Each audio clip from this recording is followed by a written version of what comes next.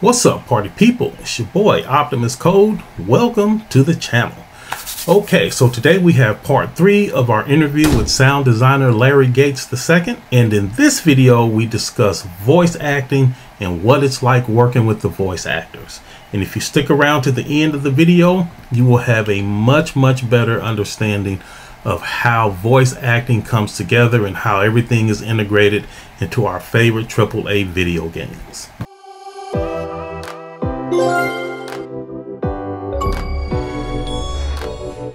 Okay, so the last time we left off discussing the radio stations and the DJs and the commercials and how all this stuff is mixed and handled and then put together into the radio stations in these big open world AAA video games. In this episode, like I said already, we're going to cover the voice acting, but before we get back to the interview, I want to say thank you for the support that y'all have shown so far. I usually save this stuff to the end, but the channel has been getting a lot of love, a lot of support, and I appreciate it. And I hope y'all are learning and finding the videos useful. And if you are, go ahead and leave a like. If you enjoying the content, go ahead and subscribe. We got more coming for you. Okay, back to the interview. That goes into a complicated system that get, that says for each station we're going to play so many songs, and then we're going to play the guest DJ, and then we're going to play a commercial. You know, all of that is driven by code too, and when we try to um, make that feel as realistic as it possibly can. Man, that is so intricate. Okay, this is man, I'm having a lot of fun with this interview, Larry. I appreciate the time. So we'll go to the questions now. So the the voice actors, what is it like working with the voice actors? Um, I told a couple of people that I was going to interview you as a sound designer, and one of the or the biggest feedback that I got from the people that I told about this was what's it like working with the voice actors? And they immediately i guess i really shouldn't mention any other studios but they immediately thought of this this famous woman in a post-apocalyptic world where her guardian was uh, killed and she was on a revenge mission. And it's like everybody just thinking about like what's it like to work with these actors uh-huh. and have them take over this role and the storytelling. Like what's that like? It's uh, phenomenal. I love love love seeing the words come to life. You know, being involved in the process from first table reads to, you know, robot voice to I may even be reading those lines at some point in the game as placeholder. And then we finally get to the point where it's uh, it's an artist's job to take that a step further. And I love it really is, and this is true for any type of recording, uh, m- music or on a film set or in a, a voiceover session, is ultimately you're trying to capture lightning in a bottle. You want to, do- I'm trying to document through this microphone into Pro Tools uh, your best performance of that line right there in front of you. That's what we're after. And um, getting to do that um, and influence that and help that along and inform, you know, I'm the one feeding them the context. And, and those sessions, unless it's a um, a cinematic session, we're doing cutscenes that are more mm-hmm. story driven. If it's through a mission, those sessions move very very swiftly, very very swiftly. We don't we don't get to sit there and chew on every line of dialogue um, like it's Billy Shakespeare. You know, we gotta we keep it moving. You know, for them to see it in cold read with whatever context or a line that I give them, for them to spit it right back at me and say it in a way that none of us had even thought of and that's got us on the floor rolling, you know, because I love those moments and, and, um, um, feel very fortunate to get to, to participate, um, in them. And, you know, that's grown for me too. You know, I went from the guy who was just shoveling voice to the guy who kind of took all the notes at the sessions to keep uh, all the files straight um, uh, to the guy who's who's casting and, and running the sessions and directing the actors. Um, so, wow, congrats! Uh, thank you, thank you. Um, um it's exciting, and, and, like I said, I kind of carved out that space. That's kind of felt like that's why you brought me here is to work on voice. So let's work on voice. You know, let's let's make it the best we can. That's um, big pimping right there, sir. and and there's the other side of it too, and the and this is no knock on on anything. It's just that uh, I think folks think that it's very glamorous, and sometimes it is. You have those moments, but it can be a grind too. You know, when you're doing two or three weeks in a row of four hours in the morning, four hours in the afternoon of just kind of grunt conditional things. You think of all the NPCs in an open world game, you know, foot soldiers and pedestrians and whatever. and you try to make them funny, and you try to make, especially in a Saints Row world, you try to make them The shine a, little bit, but they can't all be shiny. You can't be surrounded by 12 Robin Williams at once going crazy. You know, we're trying to get your attention. Sometimes it's subtle. And, um, you know, you're burning through two, 300 lines in these sessions day after day after day. It, you have to be wired for that too. You have to be wired for the, um, for the grind of, of getting through those. I think everybody thinks it's, it would be cool to be there. And yeah, it would Yeah. be. Um, but uh, uh, you have to be a certain level of crazy to be able to lock in to script after script after line after line of these Yeah. things, especially when it comes to world life, NPC life, and you know, grenade reloading, all those you know the combat things that Yeah. you're Yeah. so repetitive. You know, you got to be ready for that as as well. It does seem like it can be a grind. So there's this thing I noticed. This isn't one of the questions, but I think it'll be quick. There's this thing that I noticed where the motion capture talent is also the voice talent. Mhm. That doesn't have to be that way, right? Like, can you talk about that some? Right. And and we don't do it that way. There are two very distinct advantages and disadvantages. Well, one of each, right? Right up front.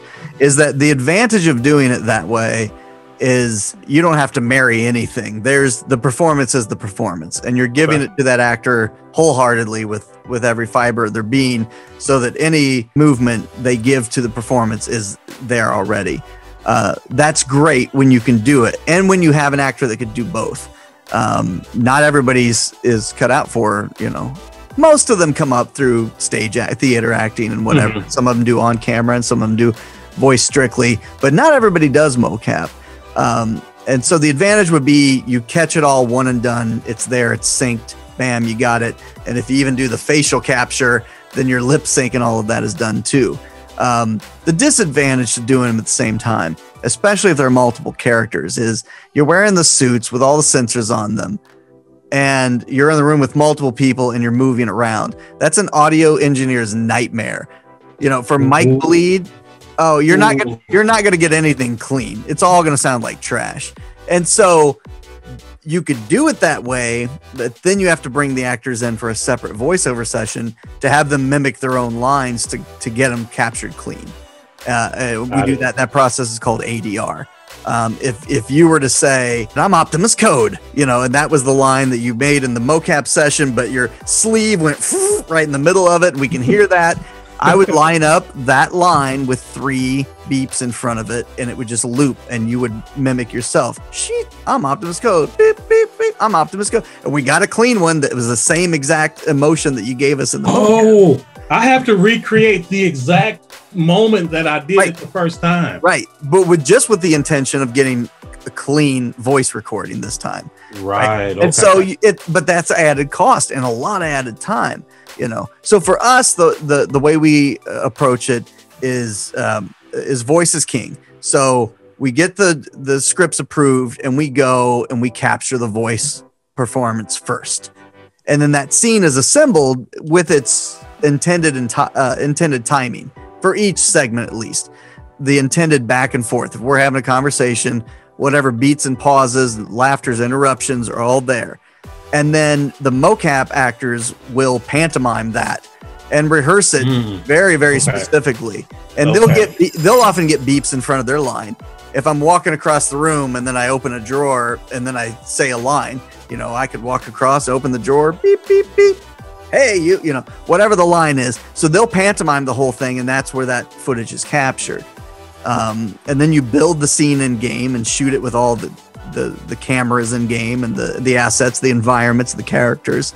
And then it has a final stop um, we've used a place called plastic wax out of australia um, that will do all the final facial animation to those voice lines and that's a painstaking long and expensive process as well um, so cutscenes are you know you're making a mini movie in there and you're making Yeah. it the hardest way possible you know Yeah. if there if there's a, a western and they were to get a, a, a horse riding across the prairie they get a person on a horse and they set up the camera and the right time of day they shoot it going across the prairie for us we got to create that horse and that prairie and the physics logic that says when the horse hoof comes down it doesn't fall through the world Yeah. gotta get the yeah. dust that kicks up as VFX. You have to create every aspect of it, building a ship in a bottle, you know, a piece at a time. Yeah.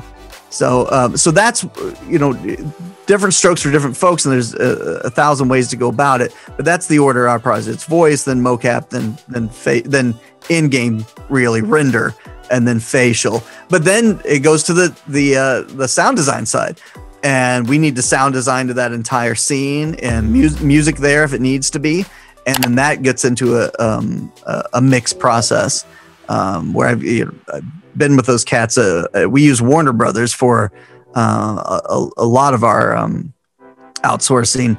Uh, that's where we do all the voice recording, and that's where we um, uh, mix those cinematics. So, okay, cat named Tom that uh, that worked on the Hunger Games movies. He mixes those sort of features. You know, he'll mix those scenes uh, with us on a, on the big sound stage, um, just like they would any any feature. And so that's a long, complicated, expensive process as well. I can imagine. Yeah. So there's there's been times I was like, man, get Lens and Larry over, we're gonna barbecue, and I will call you. And he's like, man, I'm in LA for two weeks. And I would call you, and he's like, okay, man, um, I'm having to go here for like a week. I was like, this dude is never at home. Why do you travel so much? Well, uh, you know, we the voice sessions once the production gets going, really popping, and and there at least 2019, um, I was there almost every month. You know, you get out and you book a week or two at a time, and then you're doing 10 to 20 sessions. Um, so you go to where the actors are. You go to the Warner studio Right. The actors don't come to your offices. You yeah. and your team go to where they are. Right. So that's where the talent pool is, um, especially uh, when it comes to union talent. And once you um, once you start a project, once you register it with the Actors Union, SAG-AFTRA, the the Actors Union, then you're obligated to use union talent. So there's three pockets technically four, five, or six pockets of union talent, and the biggest would, is Los Angeles. And of okay. course, there's New York. Chicago has a little. Um, then you have Atlanta and San Francisco, and oh, you can almost include a little bit of Austin, but LA's where that talent's going to be. Okay. And um, and so pre-COVID, you know, I would fly out there and would just knock it out, you know, and then I'd yeah. fly back and they would edit and deliver all those files to me but I'm still on the receiving end and get them in the game. We hook them up, we analyze them, we change anything we need to change, and go do it again. Okay, that's it for this one, y'all. Time for the quiz.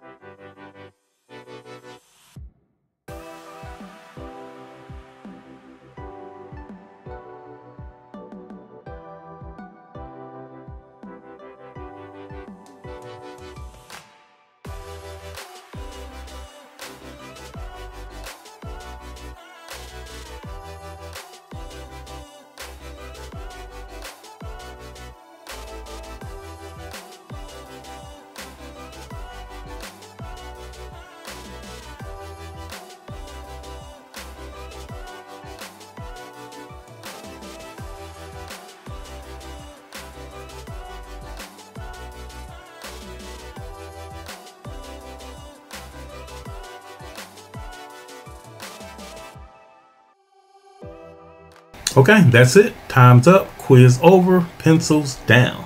How did y'all do? All right, hopefully this one was easy peasy and I was able to answer all the questions successfully without any difficulties. Again, if you're enjoying the content, go ahead and leave your boy a like on the video. Let us know that you're enjoying what you're viewing, that you're finding it useful and educational. If you are enjoying all of the content that you're getting from the channel, then go ahead and subscribe because we got way more coming for you.